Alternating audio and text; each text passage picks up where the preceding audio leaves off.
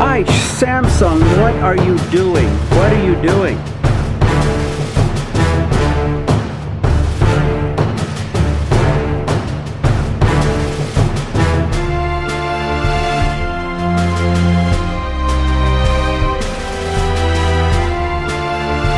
Breaking news, I just heard on the way home from work today that a Galaxy Note 7, a replacement Galaxy Note 7, caught fire on a Southwest Airlines flight as it was boarding.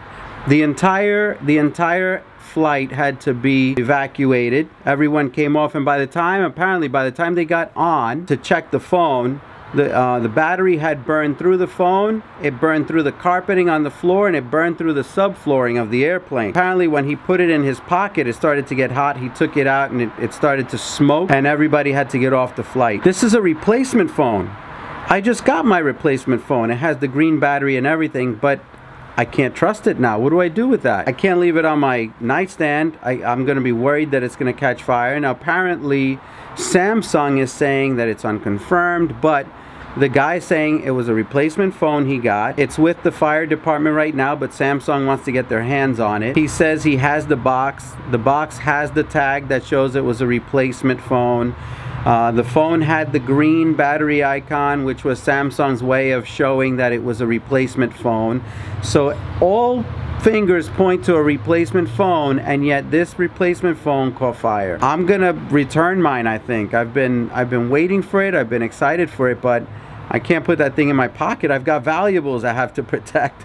And I can't leave it on my nightstand and feel comfortable about it. And I, I don't know what I'm going to do with it, so I'm going to just return it. Now, at this point, what do I do? What are my options, right? I can go for the new Pixel phone that was announced by Google. I can get an iPhone 7 Plus, or I can get a Galaxy S7 Edge. Now I don't know what I'm going to do. I'm probably going to return it put the service back on my iPhone SE, which was doing fine, until I figure out what I'm going to upgrade to now. Um, guys, if you have one, be safe, please. This was a replacement phone, reportedly. It was a replacement phone. So if you have one, I would recommend you don't take a chance and you return it and you get something else. I don't want something bad happening to one of you guys. I think that's what I'm gonna do. And I'm gonna do that tonight most likely because I don't even want it sitting in the house for any longer than it has to. This is not one of my regularly scheduled vlogs. I just wanted to bring you this news because I thought the faster you guys had it, the faster you guys could make a decision with it. And I want everybody to be safe. So if you have one, please consider what you're gonna do with it. And everybody be safe, all right? I'll see you at the next vlog. Take care. Be well. Bye.